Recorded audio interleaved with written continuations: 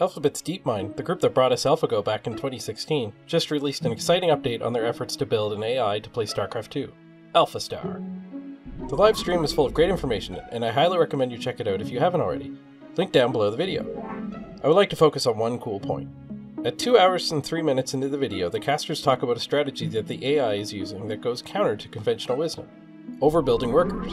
I'll put a link below to this point in the video. Rotterdam points out that the community has settled on 16 being the most efficient amount of workers to mine with. Sometimes 18 is okay, but not as efficient, and anything over 24 is pointless. AlphaStar is up to 25 or 26 workers. Why would it do this?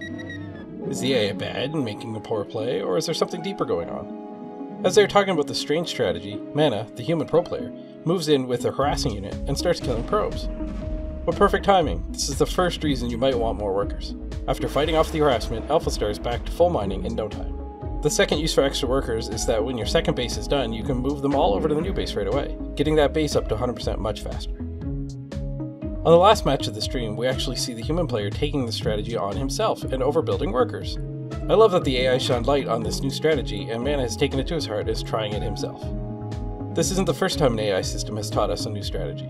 Consider backgammon an ancient board game dating back thousands of years. Quick crash course for those of you who don't know the game. The basic goal is to move your tokens around the board past your opponent. Groups of tokens are safe, but your opponent can land on a solo token and capture it, sending it back to the start. TD Gammon was an AI created in 1992 to play backgammon. TD Gammon revolutionized how the pros play backgammon after thousands of years. Consider an opening roll of 4 1. Conventional wisdom was to use the 1 to move from point 6 to point 5 but TD Gammon would instead do the safe play of moving from 24 to 23. Human players considered this new style carefully and have now adopted the AI strategy. I'm really excited to watch the next big StarCraft 2 tournament and see if more pros start overbuilding workers like AlphaStar.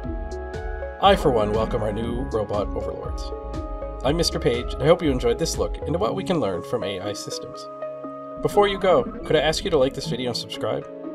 It will help you find more great videos like this, and it will help me find more great viewers like you. Win win. See you next time.